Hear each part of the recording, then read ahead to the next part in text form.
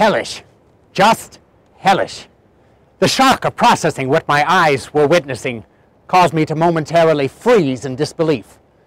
I was standing at the front door of my home, looking only 200 feet away at our enormous and stately academic hall and witnessing its utter destruction. I had been resting in my study a few minutes before when suddenly I heard the sound of shouting and clanging bells, quickly followed by a fierce pounding on my front door. I ran downstairs to find one of the students, frightened, out of breath, and shouting, Mr. President, the hall is on fire! Immediately, I, I could see it all right over his shoulder. Already, flames were licking at the downstairs windows of the building.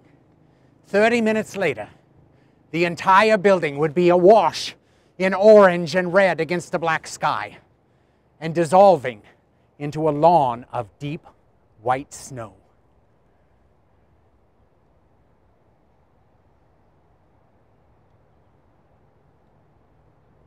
The fire literally roared with a sound not unlike that of a racing train. My heart sank into the pit of my stomach. I was 38 years old, had been president of the University of Missouri for only six months, and I knew at that moment things would be entirely different. The students, faculty, and staff who were first on hand were magnificent in their reaction. They saved countless papers, furnishings, collections from the museum, including the elephant.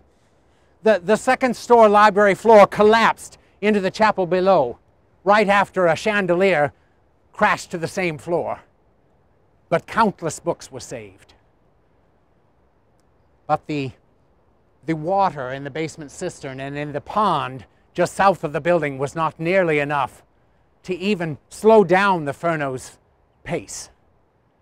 More fear and excitement ensued when inevitably the ammunition supply of the Cadet Corps exploded. My own house, now known as the Chancellor's House, which is still located on the quadrangle today, several times was nearly a victim of the same fire were it not for the students who stood on the roof with buckets of water. The next day, the student body, the faculty, and all the leading townspeople met in the Opera House downtown. Governor Francis arrived to speak and to assure everyone of his support and that he would call the legislature into special session. For my part, I told those gathered that indeed we had lost only a building, that the real university was all of them, and the real university was untouched. I was born in Virginia in the same house where George Washington's mother was born. I graduated from the University of Virginia and then taught math, Greek, Latin, French, and other subjects at several colleges until the University of Missouri wrote to me at Tulane University and offered me the honor of being its eighth president. In the year after the Great Fire, I and many others didn't merely act defensively to those who wished to see the university move to Clinton or Sedalia, but rather we went on the offense. As a result, six new buildings were built on the campus.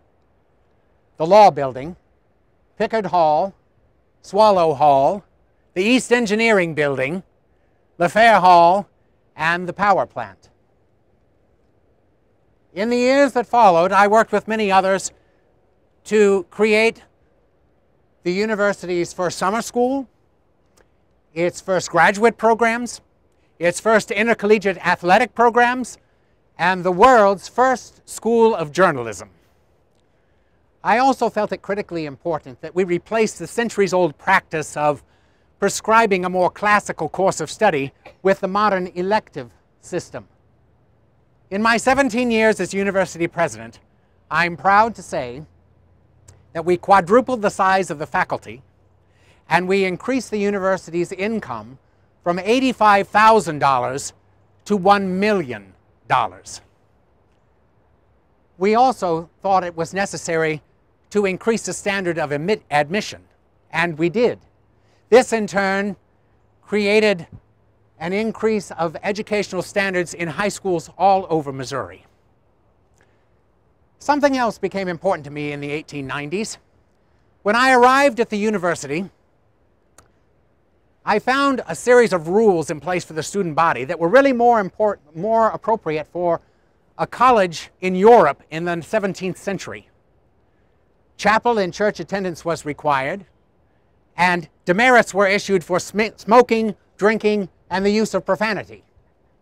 Administrators were thought of as surrogate parents. Hmm. Well, I eliminated those harsh rules and set about a purposeful change to a freer, more secular campus. Come to think of it, perhaps that's why it's said of me that I was so popular with the students. Leave parenting to parents and religion to the churches. But it wasn't all work. I have many fond memories of family and friends. On the occasion of Mark Twain's visit to the university to give the commencement address in 1902, we hosted him in our home, and I was delighted to watch him read bedtime stories to our children. Can you imagine that? I'm also very fond of reminiscing about the time that we departed by train for a long overdue vacation in Europe.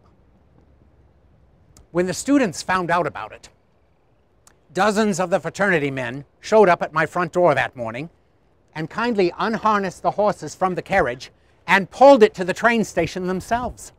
Others carried our trunks, and they all gave us the most heartfelt and wonderful send-off as we pulled away from the station.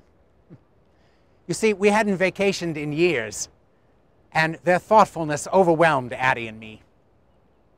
Not too many university presents can boast about that.